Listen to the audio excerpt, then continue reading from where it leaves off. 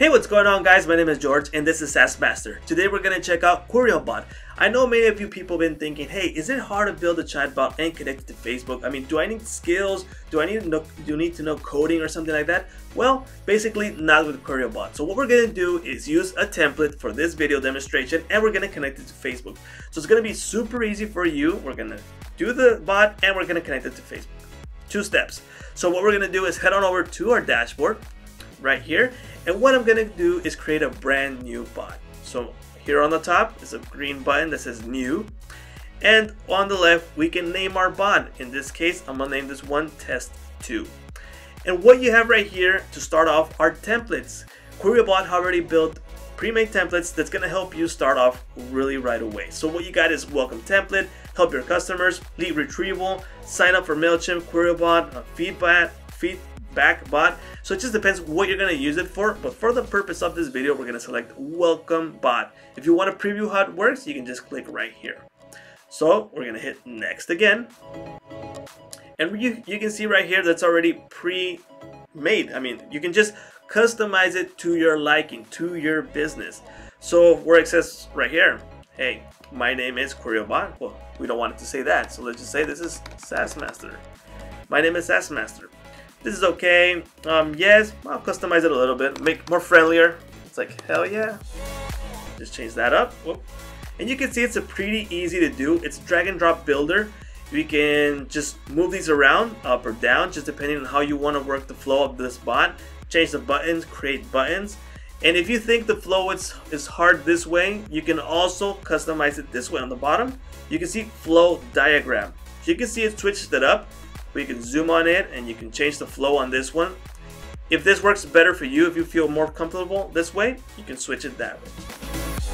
Okay guys, so like I said, next thing we're gonna do, you can do this customization with uh, Calm, with time, no problem. But let's go head over and connect it to a Facebook page. So we head on over to the channel right here, and we can leave that name. And you can see we don't have any options to add Facebook. Don't be worried. All we gotta do is head over and save. Now the reason we're doing this is just say for example, we don't want to connect this to a landing page. We just want to connect it to Facebook. So this is the way you would do it. You can see now we have instant messenger. So we're going to click on that one and it's not connected to any channel. So we're going to connect a brand new channel.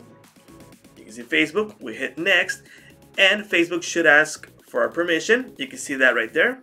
Continue. And which uh, fan page do we want to add? So I'm gonna select this one just for the purpose of this demonstration. Say yes. So now it's giving it permission to link to our fan page, so Quriobot has access to it. And we can do a little bit more customization right here. Like I said, do this with time, with no problem. Fanbook page, we just select fanbook page, there we go, unbox. Save it.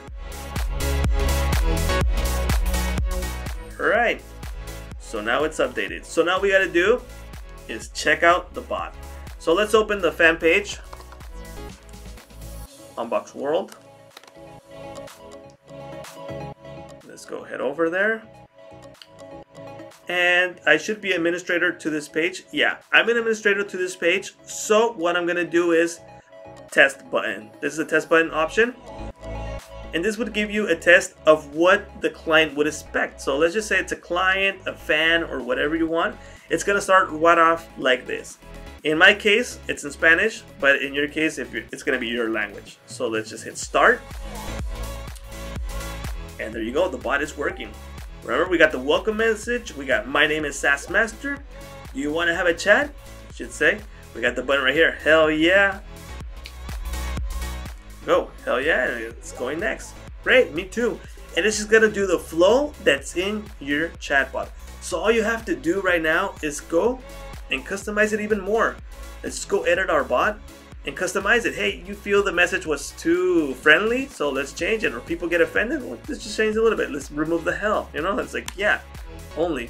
Or you want to add more conversations, add a new response. And this is the way you would go further and further and you start customizing.